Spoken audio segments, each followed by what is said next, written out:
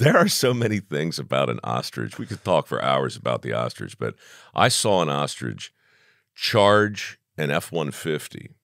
The guy had left the the door open hmm and tore the door off the hinge, just ripped it off. These things can go from zero to 40 miles an hour in about four steps. Yeah.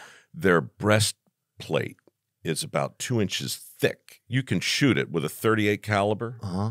Six feet away, slug will bounce off. Oh my God. They're cassowaries, right? So they've got their their their claws. Uh, they've got three claws. I the guy I worked with had a one of those big cowboy belt buckles that Uh-huh. had been cleaved in half right down the middle by an ostrich. Wow. Had that belt buckle not been there, the thing would have killed him. They're dinosaurs, right? And uh, putting the socks over their heads and leading them off to slaughter was one of the more exciting.